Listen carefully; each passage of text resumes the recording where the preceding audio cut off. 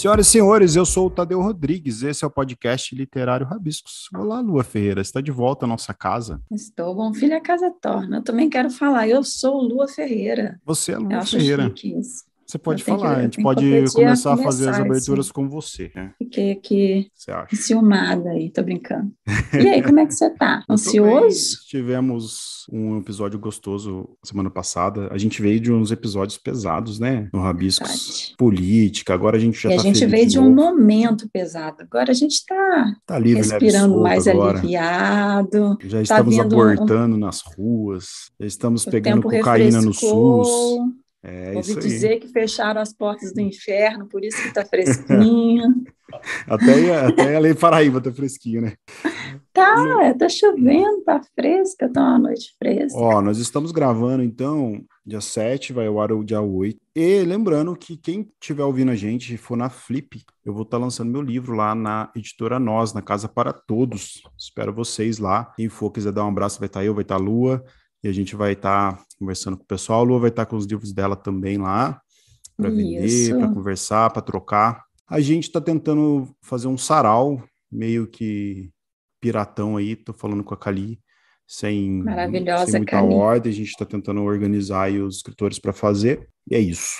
Vamos de recebidos? Ansioso, Tadeu Rodrigues? Eu tô bem ansioso, tô feliz Hum, também, né? Esse livro tá incrível. Eu já Vamos ouvi ver. duas vezes, já vi a capa, nossa. Tô super feliz, tô bem animado. Vamos ver como será. É, a capa, a capa eu vou divulgar logo, essa semana eu divulgo, a Simone Ai. falou. É, vamos de Quero ver recebido então? Vamos lá. Quero agradecer o pessoal da Pinacoteca de São Paulo, que me mandou esse livro da Leonora de Barros, Minha Língua, que está com exposição na. Pinacoteca, começou agora, vai até abril. O Érico, querido Érico aí, sempre dando força, tá lá na Pinacoteca. Quem quiser, Beijo, quem estiver em. São Paulo e tiver de passagem por lá, só chegar na Pinacoteca e curtir então a exposição que envolve artes plásticas, fotos, imagens e poesia. Leonora de Barros, o livro tá lindo. É isso. Quero agradecer o pessoal da Intrínseca, nossos parceiros, que me mandou Parceiraços. o lançamento de outubro, lançamento de destaque deles, o caso Alaska Sanders, do autor é verdade sobre o caso Harry Cabert, do Joel Dicker, que eu gosto muito dele. E esse livro está bem aí celebrado também, é Intrínseca, sempre com edições maravilhosas. Obrigado, Intrínseca, valeu. É, a gente quer fazer uma propaganda local aqui, Lua, Uhum. o Retratos da Terra, que é um, um livro de fotografia feito com os meninos da comunidade da Zona Sul, aqui de Poste Caldas. Os meninos é, adolescentes tiveram acesso à máquina e ao curso e fizeram fotos maravilhosas da nossa cidade. Quem quiser conhecer, tem o Instagram Retratos da Terra. É, acho que a maioria não, não vai estar por posse, mas quem tiver por posse, tá lá nas termas também a exposição. A gente foi na abertura, inclusive a Lua foi também Comigo. também, tá lindo o catálogo. Tá lindo, né? É, Uhum. Hoje também, Lua, dia 8, a gente está inaugurando aí, começando a feira Flicanga, Festa Literária da Cangaíba, que celebra os 30 anos do Teatro Flávio Império, que acontece na periferia de São Paulo, aí com curadoria do Rodrigo Siríaco. Ela co- acontece agora dia 8, 9 e 10 na Zona Leste de São Paulo, lá no Teatro Flávio Império, e tem como tema Vozes Ancestrais, que é o tema aí do Que evento, que é bacana. todo gratuito, que ele vai dialogar aí com a comemoração do centenário da arte moderna de 22, e é muito bacana que, que o Rodrigo Siríaco está aí como que é educador, escritor, ele vai trazer mais de 80 artistas na sua programação, vai ter nomes consagrados aí na literatura, ancestral, periférica, ativista, inclusiva, tem aí o Uhum. Kilson de Oliveira, a Gerard Guarani, Roberto Estrela Dalva, Trudoado Rico, Mel Duarte, Marcelino Freire, é, Abel Santos vai boa. também, vai ter o Islanda Guilhermina, o Sarauzinho, o Sarau da Brasa, vai ter legal pra caramba. É, quem quiser conhecer a programação, então, arroba fli, underline, canga, que vai ter acesso a tudo lá, e o endereço é na rua Professor Alves Pedroso, 600, Zona Leste, São Paulo. Deixo aqui meu abraço ao Rodrigo Siríaco, que faz um trabalho fenomenal nas periferias de São Paulo. É isso. Estou esquecendo alguma coisa? Acho que não, né?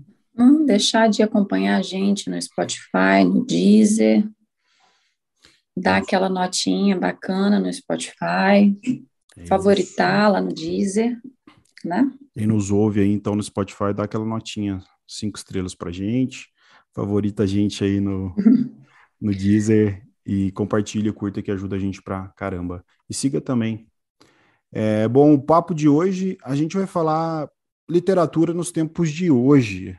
Eu sei que isso acaba sendo um tema recorrente de outros programas, mas vai ser muito legal falar com essas duas convidadas e que eu acho que vai brilhantar essa noite, principalmente porque a gente vai conseguir discutir a literatura como forma de movimento que está acontecendo nos dias de hoje, em 2022, dias turbulentos e ao mesmo tempo dias acelerados, ao mesmo tempo dias conectados. Faça as honras da casa, Lua. A gente, como o Tadeu já falou, a gente está recebendo duas autoras, duas belas e talentosas autoras. A gente fala com a Fabiane Guimarães, que é jornalista escritora, autora da novela Pequenas Esposas, autora do romance Apague a Luz Se For Chorar, que é finalista do Prêmio São Paulo de Literatura e que ganhará também uma adaptação para o cinema. Olha que bacana. E a Maria Miller, que é escritora, produtora de conteúdo e doutoranda em inglês, estudos literários e culturais. Meninas, sejam muito bem-vindas. Falei tudo certinho? Por favor, me corrijam. Se ficou faltando alguma coisa, alguma informação, vocês podem acrescentar. Boa noite. Boa noite, Lua. Boa noite, Tadeu. Obrigada pelo convite. Boa noite. Muito Boa feliz. noite. Imagina, a gente que agradece por vocês terem aceitado estarem aqui. Meninas, queria começar o papo com vocês falando um pouco da onde está a literatura nos dias de hoje. Vocês que escrevem, vocês que trabalham com literatura, a literatura atual hoje, em tempos de TikTok, que é o tema do nosso papo, em tempos de, em tempos de Instagram, em tempos de vídeos, que lugar que a gente está na literatura brasileira? É, eu acho que a gente nunca esteve em um momento tão auspicioso tão bom da literatura brasileira contemporânea. Eu venho acompanhando aí há bastante tempo, né? É, acho que a gente está num momento muito rico de produção e de é um momento que estão olhando, né? Todas as editoras do país, tanto as pequenas, as independentes, quanto as maiores, estão olhando para autores brasileiros, estão procurando vozes brasileiras, né? É, então é um movimento que eu estou vendo também uma galera muito jovem, muito ativa nas redes, isso me deixa muito feliz. Na época em que eu comecei, tinha quase ninguém, agora é muito mais fácil você encontrar as pessoas por aí, né? É, e as redes sociais, tenho nem o que falar, eu acho que é um meio que facilitou muito para muita gente, principalmente quem está longe dos grandes centros, né? Antigamente era só Rio e São Paulo, no máximo ali um Porto Alegre que conseguia né, ter uma cena literária. Agora a gente tem cenas literárias em vários lugares, a gente tem uma galera jovem, engajada, e a gente tem um meio de chegar, né? Que antes a gente não tinha muito. E eu acho que as redes sociais são uma grande parte desse fenômeno. Você acha, você acha, Maria, que a gente está se expressando com outras necessidades hoje, assim, de divulgação, de, de todo o trabalho? É, eu concordo, eu concordo com a Fabiane nessa questão dessa quebra de barreiras, sabe? Que, que a internet permitiu esse alcance maior de outras regiões que, assim, não é que não chegavam, mas chegavam com uma certa é, dificuldade para um público maior, né? Então, assim, você, você quebra ali aquele eixo Rio-São Paulo, né? E, e permite também outras pessoas que não ficam nessas, digamos, panelinhas, a também é, alcançarem outros públicos, né? é, se tornarem conhecidas e, e, e, gêneros, às vezes, que eram um pouco mais abafados por romances e a poesia, a gente vê que teve um boom da poesia no Instagram, né? É, enfim, eu acho que a, a, internet e as redes sociais, elas permitiram essa, esse alcance, né, maior, de fato. Lua, é, deixa eu te fazer uma pergunta assim, também, porque a Lua, para você também, você vem também de uma, de um, uma poesia de Instagram, né? Você tem bastante seguidores no Instagram e você tem essa, esse vínculo hoje com a literatura física também, né? Tudo literatura, vai, né? Nós temos todos os tipos de literatura, mas você está lançando um livro também. O que, que você sentiu de diferença agora nesse primeiro impacto? Você que se criou no ambiente virtual? Ah, eu acho que sem dúvida o feedback, né? Quando você publica nas redes, é muito imediato a resposta do público. O feedback é muito rápido. É, agora, você trazer para o livro, é, livro físico é, é, é interessante, assim, você te dá uma, uma sensação de que, de que, de fato, é, o livro parece que, que é uma é, algo que realmente te põe num, num lugar de, de, escritor, né? É, é estranho isso, não era para ser assim, mas a gente sente assim. Mas eu acho que, sem dúvida, a diferença é o, o feedback, o retorno, que, com, que nas redes é muito rápido, é muito instantâneo. Eles falam é, até que, acho... que tem essa coisa do que elimina até um, um, é uma substância prazerosa, né? O like, né? E o livro você lança, tem que esperar as pessoas lerem, né? A gente que escreve, eu que escrevo romance, não escrevo só poesia. A Fabi também tem que esperar, a pessoa vai, você vai lançar, a pessoa vai ler o livro depois de um tempo que começa a vir os feedbacks, né? E nas redes sociais você publica, já começa, você já fica lá ansioso para ver quem que tá entrando, quem que tá lendo e tal. É, é engraçado e isso. Tem, né? é, e tem o processo de venda em si, né, que gera uma, uma expectativa e uma ansiedade na gente, né? Quando você publica despretensiosamente nas redes, como eu fazia, que, né, que eu não tenho um ofício de escritora, então isso, isso é, te traz uma leveza, uma tranquilidade. A partir do momento que você que você publica um livro, que você também tem um, né, um, uma expectativa de venda, do livro ser aceito, do livro ser recebido, né? principalmente agora no Instagram, porque o, a, as redes estão passando por, é, por, por uns momentos de transição. Né? A gente pegou, eu entrei no Instagram num momento em que, em que a, a poesia estava forte, os textos, e que a gente cresceu bem, que a gente era bem acessado, e agora a gente está no momento do TikTok, que é o momento dos vídeos, né? Então, o Instagram também está passando por essa transição. E eu, particularmente, ainda não me adequei a, a, a esse novo formato que, que, eu preciso, que eu preciso fazer, inclusive. Agora, a gente estava conversando, você estava falando com as meninas, é, de fato, as redes trouxeram uma democratização para quem escreve, para quem produz arte de uma forma geral, né, para a gente é, saindo desse, desse eixo Rio-São Paulo, e como a Fabiane falou também de, é, do Sul, né, é, é vocês acham, olhando por outro lado, vocês acham é, também que é, a, o, o, escritor que se faz e que cresce ou que ganha a notoriedade, ou o artista, pelas redes, que existe, de uma certa forma, um preconceito por parte de, de um, outro grupo de, de escritores e artistas? Eu acho que o mundo, o mercado editorial é cheio de preconceitos, não só contra autores que começam nas redes sociais. É, eu acho que isso é uma barreira que a gente ainda precisa vencer. Existe preconceito até entre gêneros, né, até tipos de uhum. literatura. Então, é, tem uma literatura que é considerada mais séria, tem outra que não. Mas eu acho que a discussão hoje está evoluindo. A gente tem muita gente que começou na internet e, enfim, seguiu carreira aí. A gente tem muitos bons exemplos disso.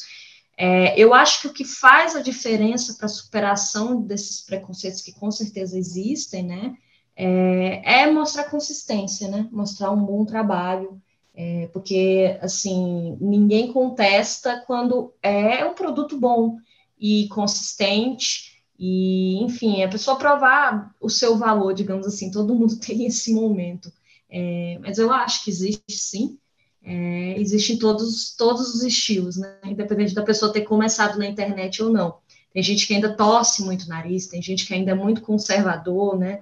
É, mas são uhum. diferentes gerações, eu vejo isso. Por exemplo, eu não sou, apesar de ser, tentar ser ativa nas redes sociais, eu ainda não sou aquela super pessoa que domina. Até falei para Maria: olha só, eu tô aqui no TikTok, caí de paraquedas. É, eu sei como é importante, mas obviamente eu tenho 31 anos, eu não sou tão versada em redes sociais quanto a galera de 20, de 19 anos, sabe? Então isso pesa um pouco. É, e, então, você imagina ali os escritores de 50, 45 anos, né? Que estão aí há muito tempo. É óbvio, é, é da natureza humana, né? O conservador torcer o nariz para tudo que é novo. Uhum. É, e eu acho que a gente que está no meio do caminho, né? Que não é nem velho nem novo, tem esse papel de fazer uma ponte e falar: olha só, não é bem assim. Não é que uhum. porque o cara começou lá no Instagram que ele, que ele é um mal, ele é um péssimo escritor. É, tem casos, mas tem muita gente boa também. É, eu acho que ajuda, a rede social, ela ajuda a quebrar um pouco esse potinho elitista que a literatura, que eles querem colocar a literatura muitas vezes, sabe? E assim, com relação à, à questão da, da faixa etária, eu sou a tiazona do TikTok, porque assim, eu tenho 40, né? Então, o pessoal é, de 20 que me segue é sempre, ah, né? É, procurando dicas literárias e não buscando dancinhas, por exemplo, né? Uhum. Que é uma uhum. coisa que eu, eu não faço. Então, eu acho que a gente tem que buscar. Mas você adaptar... faz muito bem dublagem, isso é. é, dublagem, é verdade. E tem outra coisa, dentro da literatura tem os nichos da literatura. Então, tem o nicho da, da dos romances, né? Tem o nicho da, da, do pessoal da fantasia. Então tem isso também que tem que né, ficar, ficar cada um no seu no nicho já do nicho. Foi interessante você falar é, desse, dessa parte elitista, porque eu, por exemplo, que vim, comecei na internet, às vezes, às vezes a sensação que eu tenho é que é, tem que ser que eu tenho que provar mais. Uh, mas mudando de assunto, Maria, eu quero muito te acompanhar lá para ver como é que você faz isso, porque como eu também eu sou péssima em dança, eu tenho que pegar uma dicas. de começar porque assim de é com relação ao vídeo mesmo, ao formato do TikTok? É, eu não sei o que colocar no TikTok para o negócio uhum. caminhar. Uhum. Entendeu? Eu tenho 200 seguidores no TikTok. A gente começou assim, né, Fabiane? Tipo, eu sou né, assim. fracasso no TikTok, então eu tenho que, apesar também que falta consistência, né, que meio que, que eu parei também, eu falei, eu não sei fazer isso, então deixa lá.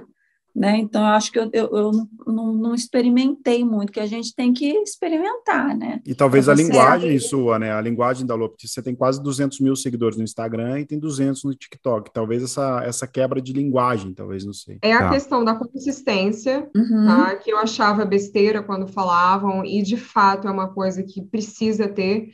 E, assim, convenhamos até na escrita, né? A gente precisa ter consistência. É, e nas, nas, em todas as redes, e no meu caso é o TikTok, né, que eu foco hoje mais no TikTok, e eu, e eu procuro saber mais sobre a questão do algoritmo, como é que funciona, quais horários é, que é melhor postagem, né, é, e também adaptar as tendências, né, as trends do momento ao que eu estou fazendo, que é a literatura, né, no meu caso.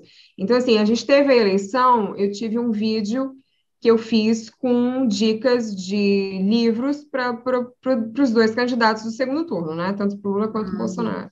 Que era uma coisa um pouco de brincadeira também, teve um pouco de humor ali. Então, assim, é tentar adaptar o que está acontecendo, alguma trend que está ali no, no, acontecendo, música, alguma coisa para o que tu está fazendo. Uhum. Como que você vê os leitores que chegam? Eles chegam procurando esse conteúdo ou eles vão atrás de livros e chegam também nesse, nesse tipo de, de diálogo? Olha, eu acho que tem. É muito heterogênea, muito diferente. Tudo que, sabe, não dá para reunir e, e, e, simbolizar. Eu confesso que eu quis deletar meu TikTok várias vezes, porque eu não me adaptei muito com a linguagem. No começo, eu tive alguns vídeos ou, alguns vídeos que bombaram, que viraram virais, e outros que completamente floparam. E como a Maria disse, a gente tem que ter consistência, e consistência é um negócio que eu não tenho em quase nada na minha vida, né? É, então, para mim foi muito difícil, né, me acostumar e tudo mais.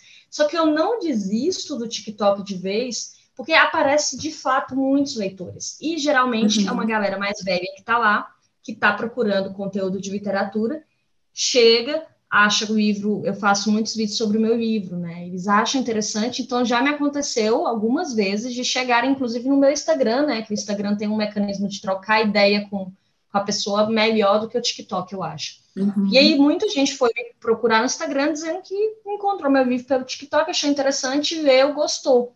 E eu acho que eu não desisto por causa disso. Então, embora eu não tenha consistência, sempre que eu tenho uma ideia, sempre que eu estou com tempo livre, que acontece com pouquíssima frequência ultimamente, eu vou lá, faço uns vídeos e aparece sim muita gente. Mas uma coisa que eu acho curiosíssima, que já me aconteceu mais de 10 vezes, é que muitos é, usuários do TikTok são pessoas menores de idade, né? E eles se perguntam assim, é, qual que é a classificação indicativa e eu acho isso tão curioso, eu acho tão assim, eu acho bonitinho, mas ao mesmo tempo eu fico, gente, mas eu quando eu tinha 16, 15 anos, eu ia Sabrina, sabe? sabe, aquelas, sabe aqueles livrinhos que vendiam uhum. na banca de revista, que tinha umas cenas eróticas uhum. cabulosas. Assim. A gente via cada coisa, porque a nossa geração não teve tanto filtro, né? Chegava Verdade. tudo quanto é coisa a gente consumia, mas eu que cresci no interior de Goiás, então o que estava chegando na minha mão eu estava lendo. E aí as pessoas lá achavam assim, ah, bora botar aí, é livro, né? Essa menina aí gosta de livro, então vai ler isso aqui. E aí eu vi Nem umas sabia coisas os assim conteúdos. Tinha a menor bom. ideia. E no TikTok isso acontece muito. A Maria pode confirmar aí, porque eles sempre perguntam: ah, qual é a classificação indicativa do seu livro? E aí eu tive que parar para pensar em qual a classificação indicativa do meu livro. E aí eu decidi que é 16 mais. É, é Tomara direto, que a editora não discorde. É interessante isso. É direto mesmo. Ah, mas qual é a classificação indicativa desse filme? Porque eu falo muito de, eu falo de filme também, mas de filmes que são adaptações literárias. Uhum. E aí eles perguntam, ah, mas esqueceu de colocar a classificação. então, é. Tá, em breve você vai falar do, da, Fab, da Fabi aí, da Fabiane. E como é que é a pessoa que conhece vocês ali pelo TikTok? E num, num, momento assim mais descontraído, porque o TikTok tem essa abordagem mais descontraída, né? Até para poder acessar esse público é, mais jovem, é, ou não, ou que, ou que seja um outro, um outro tipo de público, mas como é que é essa coisa de, de eles chegarem numa abordagem mais descontraída e de repente pegar o livro, né, chegar até o livro e ver que, que, a, que a leitura tem um outro teor diferente daquilo ali que é que é abordado ou que é falado ou exposto no TikTok? Ah, para mim eu acho super bacana. Assim, é, geralmente é, eu, eu já descrevo meu livro no, nos vídeos, né? Já deixo bem claro que é um suspense, um drama que faz chorar. E quando eu coloco isso, faz chorar todo mundo. Ah, eu gosto de livro que faz chorar, e não sei o quê geralmente as pessoas se surpreendem bastante, mas isso acontece comigo em todos. Eu já estou acostumada, sabe? Todo mundo que me conhece na vida fala assim: não, pelo amor de Deus, você escreveu isso? Sabe? É, e eu adoro surpreender, porque eu acho que a gente tem também é que acabar com essa visão do escritor como um ser humano superior, que, sei lá, é, tem gatos, eu tenho gatos, tudo bem, tenho Verdade. gatos, mas eu sou muito mais assim também nos funk, sabe? Também gosto de beber uma, também gosto de contar piada, sabe? É, as pessoas têm que tirar o escritor desse pedestal de pedantismo é. que foi colocado por muito tempo, sabe? Nós temos inúmeros escritores, sabe? De, de inúmeros tipos. Então, eu gosto muito de surpreender, assim. Ah, vai ler meu livro e é, eu até fiz um vídeo no TikTok que deu um pouquinho de alcance, é, contando que o comentário, um dos comentários mais frequentes que eu escuto das pessoas, às vezes, é: Nossa, mas seu livro é bom, né? Um tom de surpresa, assim, tipo. Nossa, é bom mesmo. Eu fiquei muito surpresa. Aí eu fico, gente, vocês esperavam Poxa, que obrigada. É, aí eu, eu fiz um vídeo brincando com isso, porque acontece, é muito engraçado, assim, eu fico sem palavras, assim, a pessoa vem e fala, nossa, me surpreendi muito, porque é bom, aí eu fiquei, oxe, hum. se esperar que fosse muito, e aí, aí os adolescentes do TikTok adoraram, né, tipo, começaram, ah, fã ou hater, não sei o quê, mas assim, eu tenho consciência que, assim, eu tenho consciência que não é porque meu vídeo fez 500 mil é, views lá, que eu vou vender um livro, sabe, no máximo, sim, um ou dois, é, eu tenho consciência que esse processo ele é um pouco mais demorado. A produção de conteúdo é, ela não equivale à venda de livros. Então, às vezes, você tem um conteúdo que ele bomba, mas não necessariamente isso se reflete nas vendas. Assim, ser escritor no Brasil ainda é uma coisa muito difícil, é, ainda vende pouco para caramba. É, então, é importante comentar aí com quem está ouvindo a gente que, olha só, a situação é triste. Inclusive, comprem livros de escritores nacionais, porque as pessoas é. muitas é. vezes vêm na internet, divulgam, mas não compram, e é difícil. É, a gente faz um podcast dedicado a isso, né? Aos, literat... aos escritores contemporâneos, justamente por isso, assim, né? É isso que a Fabiane falou também, da, da desmistificação da imagem do escritor como inacessível sabe? É, Para um público mais jovem, eu acho isso incrível, dele ter esse acesso, porque é um acesso ao, ao escritor e à escritora, à obra. É, imagina a Fabiane falando da obra dela ali. A gente não vai nas feiras, sabe? Não tem oportunidade de ir na Flip, não tem oportunidade de ir em outra, né, é, de livro, Bienal. É, então, isso é muito bom e tem um acesso da mensagem, poder mandar uma pergunta, né? Poder ver um uhum. vídeo da pessoa falando e, e, ter a possibilidade de ver a pessoa, como a Fabiane falou, numa vida que tem. Eu tenho gatos, né? Eu tenho cachorro, eu, eu bebo cerveja, eu, sabe? Então. E é uma oportunidade é uma incrível isso. Né? É.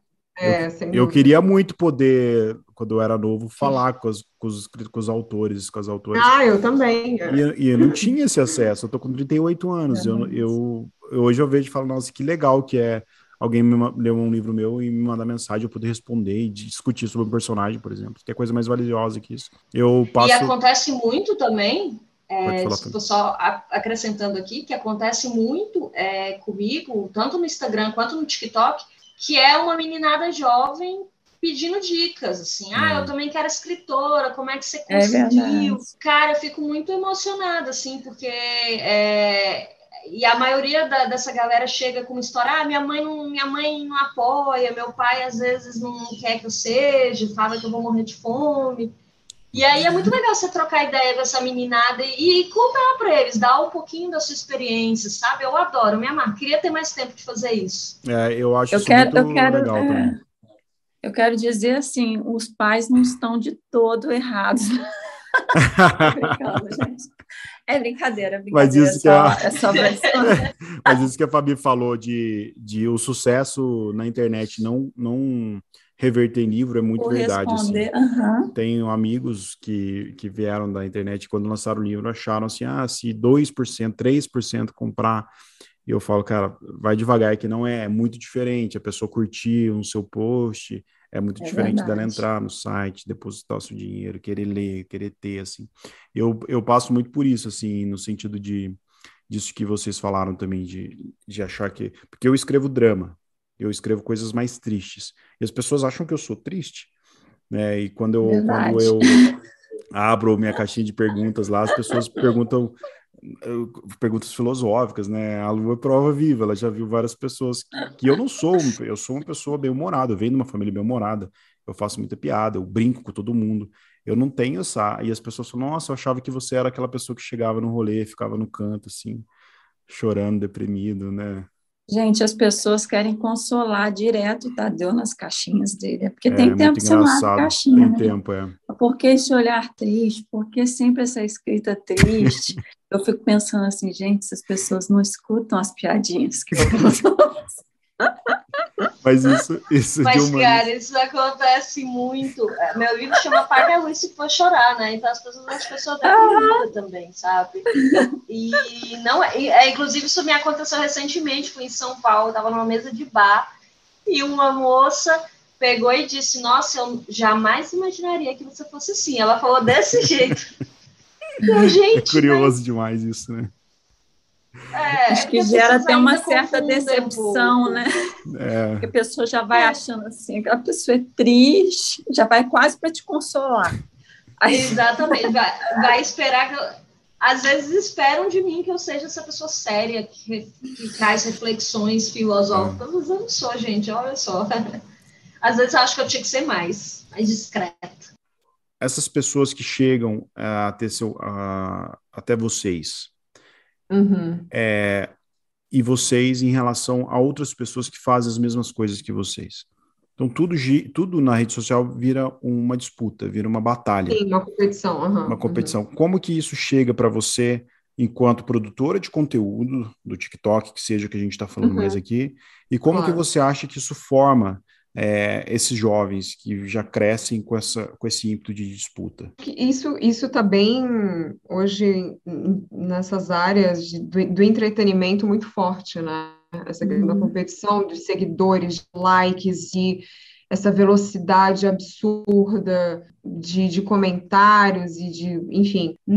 Eu não sei se eu e a Fabiana, a gente tem um número similar de, de seguidores, é muito próximo os nossos. E eu não sinto Quantos seguidores se é vocês têm? Eu não, eu não sei. Desculpa. Eu tô com 22 e acho que o Fabiano está com 20, né? É, bastante. Uhum. Alguma coisa é, assim. Não... Gente, eu confesso que eu nem sei. Vou até entrar aqui para ver. Porque eu... Ah, olha, é dá uma olhada. É, é, bastante, ainda mais pelo Foi. nicho, né? Tem o nano influenciador, esse aí já seria o, o micro influenciador, né? Depois, depois de um. Que seria o nosso, nosso nicho, né? De micro influenciador. É, eu não noto tanto, talvez a, o pessoal já mais para cima de 100 tenha uma coisa mais é, dessa competição muito assídua entre um e outro, né? É, mas, de novo, nosso, a nossa área da literatura não, não tem muita gente assim, né? E também outra coisa que eu até queria perguntar para a Fabiane, se no caso dela ela, ela nota isso, a questão do hater, eu não lido muito com hater. Tem um ou outro, claro, sempre vai ter, né? Porque é inevitável na rede social ter alguma pessoa que vai fazer um comentário no teu vídeo que vai, né, que vai te deixar falar assim, ah, nossa, que, que ótimo. Mas no caso da literatura, eu acho que o pessoal já está ali procurando uma indicação, né, de livro, procurando uma, um, enfim, não sei como é que a Fabiane vê isso também. Não, não tem muito hater.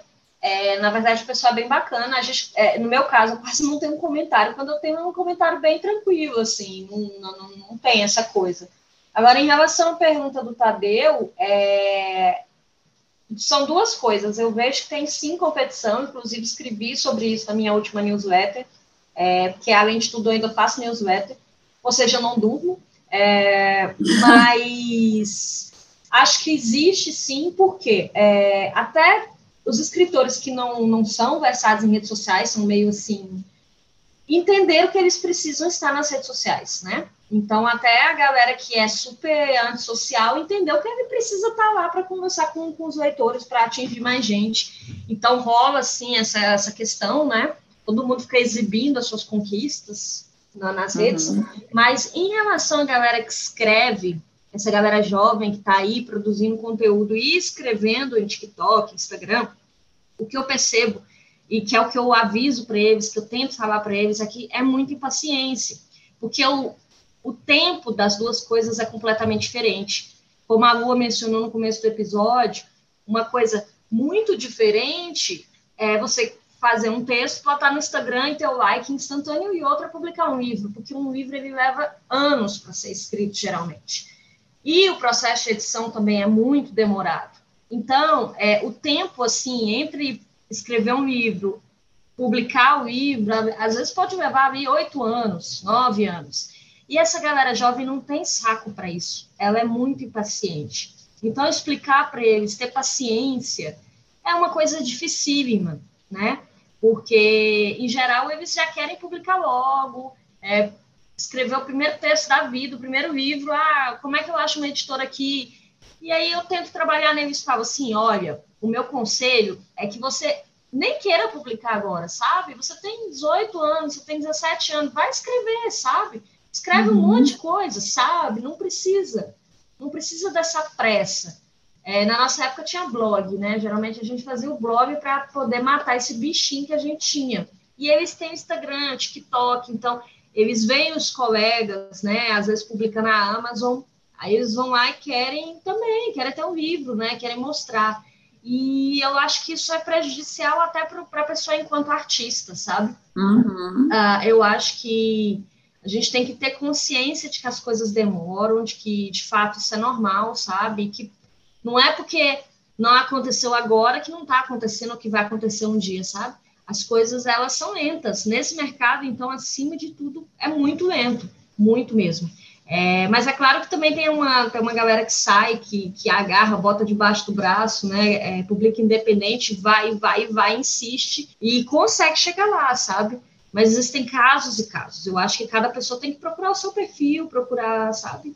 E ter, ter paciência. E tem muita gente né, que a gente vê também, eu já falei isso aqui outras vezes, mas a visão crítica dessa coisa é que muita gente às vezes quer ser famoso no mundo literário, mas não quer ler, não quer é, estudar, não quer crescer literariamente, não quer escrever bem. Então ela busca os subterfúgios todos que tem para você ter acesso a grandes números a princípio, mas que não vai se sustentar porque você não tem uma base literária, você não tem uma base de produção. E é muito comum e as pessoas se frustram, né? Assim, tenho pessoas que eu conheço que tem todo um know-how de rede social, assim, fala bem, consegue seduzir, consegue seguidor, tem um bom layout, tem facilidade com essas coisas, mas literariamente fraco e a pessoa não é uhum. uma leitora e, e, entrou nesse meio e quer estar nesse meio e não se sustenta e se frustra, né? Uhum. E aí reclama, acha ruim com uma coisa, acha ruim com outra e ao mesmo tempo a gente vê que que está faltando na verdade o final das contas é literatura, né? Às vezes não tem literatura, tem tudo menos literatura num perfil de literatura. Né? Exato. Agora, pegando um gancho no que a Fabiane falou, eu queria dar uma dica. Pegando justamente o gancho da, da pressa. Que vocês não tenham pressa, gente. É igual tatuagem. Lembra aquela tatuagem que você fez? Livrar-me do mal, amém? Aquela estrelinha da Gisele Beat no, no braço. É isso daí. Escrito japonês. Calma, Exatamente, os, como é que é o nome daqueles do, Japon, do japonês lá? Mandarim, lá, mandarim.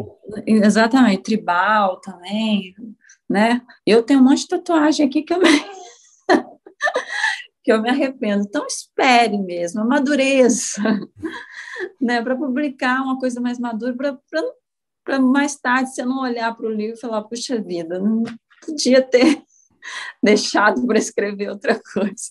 Não foi só uma brincadeira. Acho que a publicação não pode ser por si só, né? Acho que isso que a Fabi falou é muito, muito sério, assim. É, não, não é por si só, porque o livro ele vai ficar. O post, ele tá naquela timeline infinita, ele vai ficando para baixo, as coisas, os vídeos, ele bombando. A gente momento. tira, a gente arquiva. 15 minutos já tem apaga. gente bombando de novo. Agora o livro físico em especial, né? É que a gente tem o virtual, mas o livro Não, físico. e a estreia é muito especial. É. A estreia é muito especial, porque e, é, especialmente agora, né, que a gente está num é. momento que muitos prêmios têm prêmios para estreantes. É. Então, é, as novas vozes, elas são olhadas assim com muita ansiedade, com muito carinho, com muita, tipo, estão sempre procurando ali, pensando entre os novos nomes. Então, esse momento de debutar na literatura, eu acho que ele é igual a virgindade, assim, já que a Lua foi fazer uma metáfora, eu vou fazer uma também. da virgindade, sabe? É, às vezes você, sabe, vai guardando, vai, vai, vai pensando sobre isso, na verdade, não é nem guardando. É pensando, refletindo sobre qual é o tipo de escritor que você quer ser, né? Às vezes, com 16, 17 anos, a gente não tem a menor ideia. Nem escreve bem. Então, é, falar um pouco e desmistificar também, porque muita gente vê escritor e acha que a vida é glamurosa, mas são pouquíssimos. Olha, eu conheço muita gente. Cara, eu acho que eu conheço três pessoas que vivem de literatura, sabe? O resto não consegue. E assim, mesmo as três que vivem de literatura que eu conheço, não vivem de literatura, não vende livro, vive de roteiro, vive de palestra. Então, é desmistificar um pouco, assim, esse glamour que, que a galera tem em torno da figura do escritor. Que, gente, não é fácil não, pelo amor de Deus. Verdade. É uma luta, né?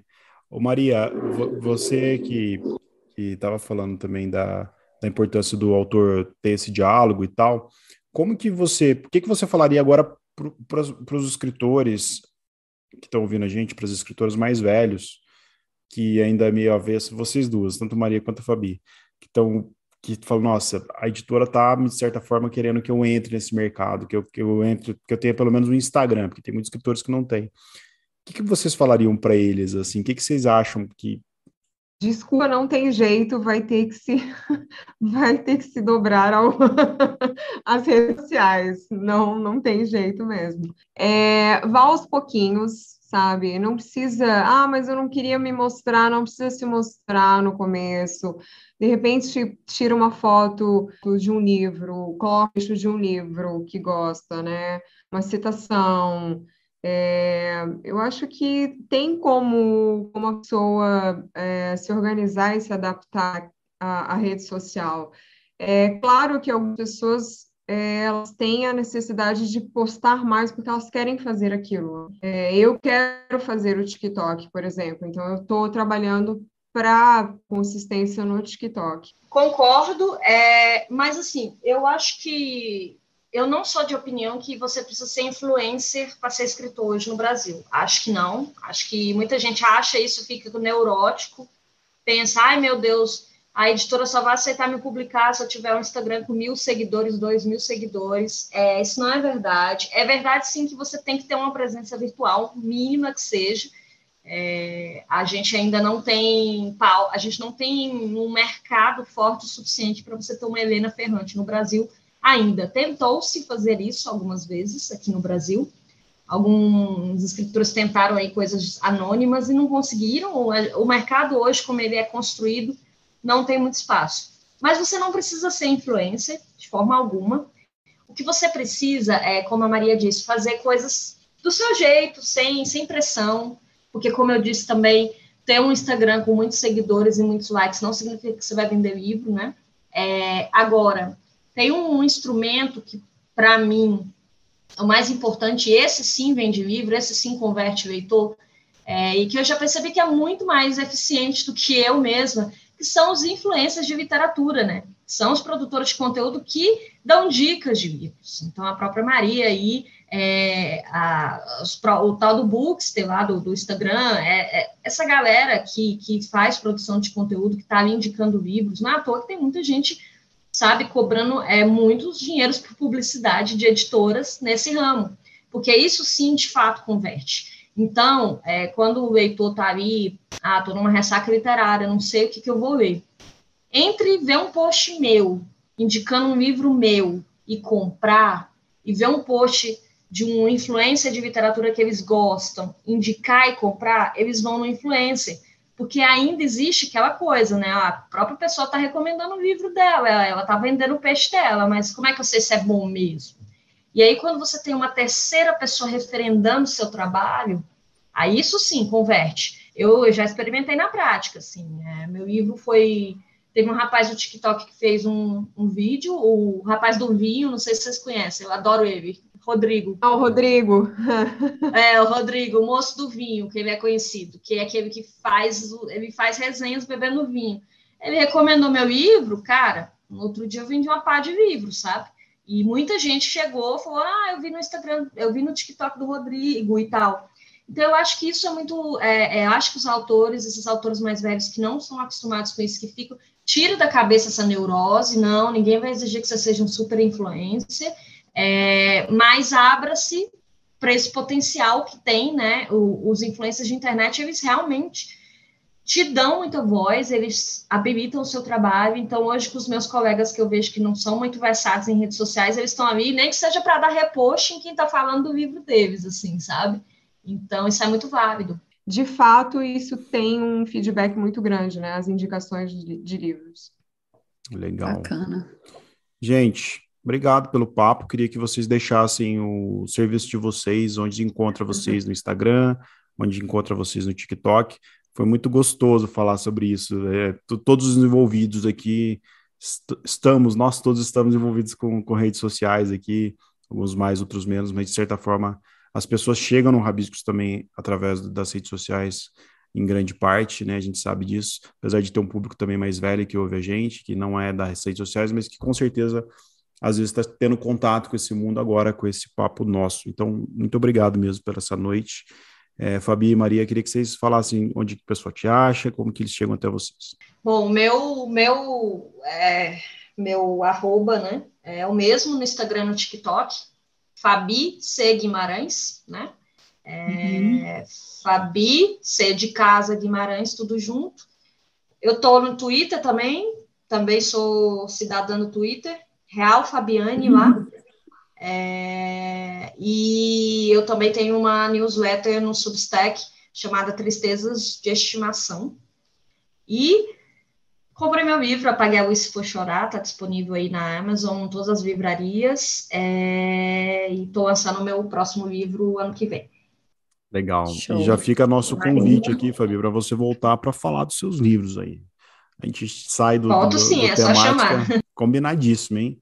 Vamos marcar esse rolê aí. Quando você for lançar, você avisa também. Maria. Tá Maria. Eu. O meu arroba é o mesmo no Twitter, no Instagram e no TikTok, que é o arroba. É, eu falo que é risquinho, risquinho embaixo, que é underline, underline, Maria Miller, underline, underline, né? Nos três.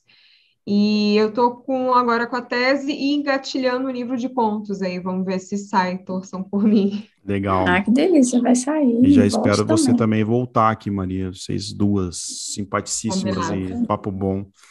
A Lua. gente tinha muito mais perguntas aqui para fazer, mas infelizmente a gente tem o tempo aqui, então, mas foi uma delícia conversar com vocês. Vou segui-las até para pegar dicas para me atualizar, para ver se eu consigo me engajar lá no, no, TikTok, no Twitter, enfim. Gente, foi muito bom falar com vocês. Muito obrigada. Diga, Tadeu, que você ia falar comigo. Eu tinha passado a, a bola para você mesmo, era Lua, sua vez de falar. Ah, viu como é que eu já estou espertinha? Já peguei a bola antes de você passar, te driblei. Isso aí. Obrigado, viu? Obrigado pela companhia, obrigado por estar junto. Pessoal de casa, quinta-feira, Carol Pedrosa, com cabine do filme aqui no Rabiscos. E quero dedicar esse episódio para o Antônio Chercheneski, vencedor aí do, do Prêmio Literatura de São ah, Paulo. É verdade. Infinita, que já esteve aqui no Rabiscos, falamos sobre esse livro, foi divertido, foi um ótimo papo. O Xerxes fala bastante com bastante entusiasmo, é bem gostoso. Então, quem quiser conhecer o livro e conhecer ele, só digitar aí no seu serviço de streaming, Antônio Chechenesca, podcast Rabiscos, que encontra também. É isso, um beijo a todos. E o Antônio, dia. o Antônio, desculpa, só fazendo um claro. parênteses, que o Antônio é um desses que está lá nas redes sociais e que é super sincero, eu adoro ele. Adoro. É, eu adoro, ele, e ele responde umas perguntas com verdades nuas e cruas. É, exatamente. ele é um dos que não mente. Mas é, agora, com, com os 200 pila do São Paulo, ele é. tá proibido de reclamar. 200 mil no bolso, deve estar tá feliz, né? É. Obrigada pelo convite, galera. Boa noite. Valeu, gente. Obrigado, gente. agradece. Bom dia, boa tarde, tchau, boa noite. Tchau, tchau.